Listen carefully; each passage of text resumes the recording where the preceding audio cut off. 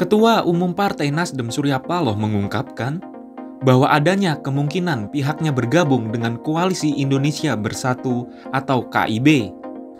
KIB merupakan koalisi yang beranggotakan Partai Golkar, Partai Amanat Nasional, dan Partai Persatuan Pembangunan. Apakah perlu akan mungkin bergabung dengan KIP? Ya sama-sama mungkin, mungkin KIP juga bergabung sama Nasdem kan? Jadi probability kemungkinan itu masih terbuka. Baik.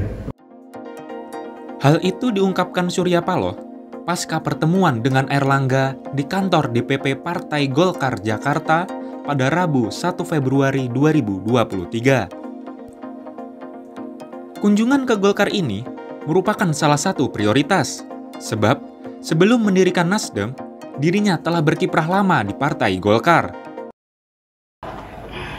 Baiklah, kenapa harus mengunjungi Golkar? Ya prioritas bagi Nasdem. Ada satu romantisme, ada satu perjalanan, sejarah perjalanan kehidupan saya pribadi. Jadi di Golkar sendiri ada 43 tahun, ya, baru kemudian ada Nasdem kan. Jadi terlepas apa pun juga kekurangan satu sama lain, tapi modal kebersamaan, catatan sejarah, saling pemahaman. Sementara itu, Surya Paloh menegaskan bahwa pertemuan dengan Erlangga tidak ada kaitannya dengan Jokowi, melainkan murni inisiatif dari Nasdem.